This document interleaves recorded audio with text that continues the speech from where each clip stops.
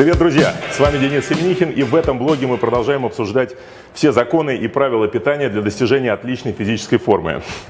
Я почти каждый раз говорю эти слова и все время чувствую вот это, знаете, груз моральной ответственности.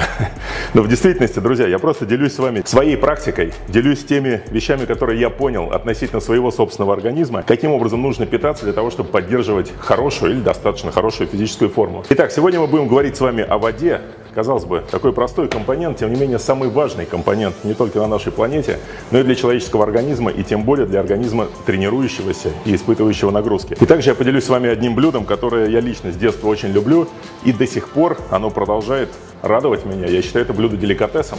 Так что поехали. Итак, вода. Вы прекрасно знаете, что 70% поверхности нашей планеты покрыта водой. Удивительно, что и практически 70% тела человека тоже состоит из воды.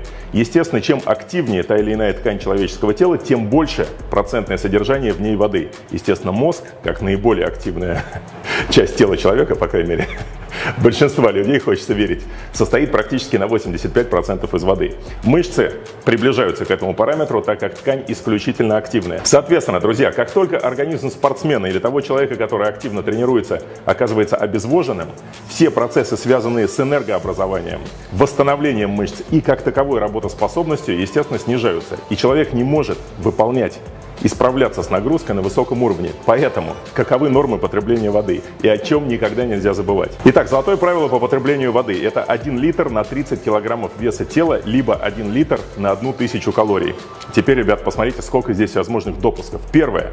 Температурный режим должен быть совершенно стабилен, то есть человеку ни жарко, ни холодно, всегда комфортно. Во-вторых, человек не сидит на диете, что, естественно, варьирует калорийность, и тем самым прием жидкости не может быть привязан к калорийности. Но к весу тела суммарное количество жидкости привязано может быть. Но, друзья, всегда делайте коррекцию на температурную среду. То есть, если это лето, соответственно, потребности в жидкости увеличиваются. Если вы тренируетесь в жарком пространстве, а не в тренажерном зале, где температура там 15 градусов, то, естественно, вы расходуете больше жидкости, жидкость вымывается, соли вымывается, вам нужно постоянно восполнять потери. Таким образом, возвращаемся. Литр на 30 килограммов веса тела. То есть, если я вешу 103-104 килограмма, значит, мне нужно выпивать порядка трех с лишним литров воды. Дальше, что мы можем сказать о других жидкостях, таких как чай, кофе, которые пьют практически все, соки и так далее, да, сладкие напитки. Чай и кофе всегда содержат кофеин, если мы говорим, конечно, о тех сортах, э, так называемых называемые декофенированные. Значит, кофеин – это сильнейший диуретик, то есть выводит воду из организма. Есть еще одно золотое правило, друзья. На определенное количество чая или кофе выпивать эквивалентное количество воды, чтобы компенсировать те потери жидкости, которые произойдут из-за того, что вы выпили этот чай или кофе. То есть выпили чашку чая, выпили чашку воды. И условно вышли в ноль то есть это не то, что вы уже да, там, к своим этим трем литрам или к двум литрам приближаетесь. Это вы лишь компенсировали чай и кофе. Дальше, если говорить о всевозможных соках, то есть напитках с высоким содержанием фруктозы, где-то на 100 мл там содержится порядка 12, иногда даже до 15 граммов. Эти напитки организм, естественно, не воспринимает как воду, потому что эту фруктозу нужно использовать, нужно утилизировать. То есть это, это частично пища, это не совсем жидкость. Ребят, соответственно, тоже корректируйте. Не думайте, что там 250 миллиграмм сока – это 250 миллиграммов воды. Итак, предлагаю начать готовить то самое диковинное блюдо, которое я вам обещал, и мы действительно разберем процентный состав тех или иных компонентов, мы подумаем, для чего это может служить, но главное, что это вкусно, ребят, то есть это радует.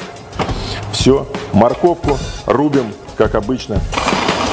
Раз, теперь два, три, четыре, пять и шесть. Так, это у нас было с вами полкило моркови. И эти полкило моркови мы теперь кладем на тарелку. Ну, вы уже, конечно, догадались, что это будет, правильно? Так, полкило моркови. Дальше сметана.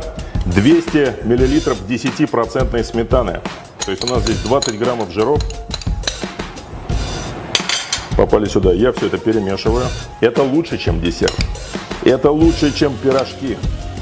Это лучше, чем... Я бы даже сказал, что это лучше, чем энергетические напитки.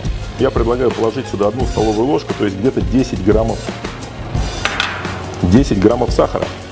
Соответственно, 10 граммов простых углеводов сюда попало.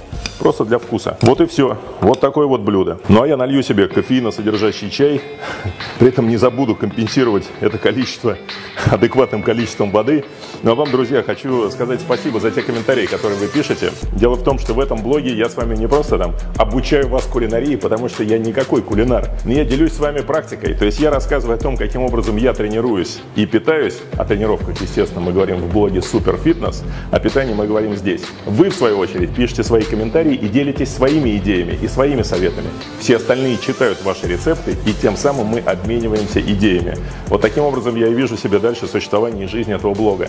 Так что вам огромное спасибо за вклад, друзья. Тренируйтесь и удачи вам!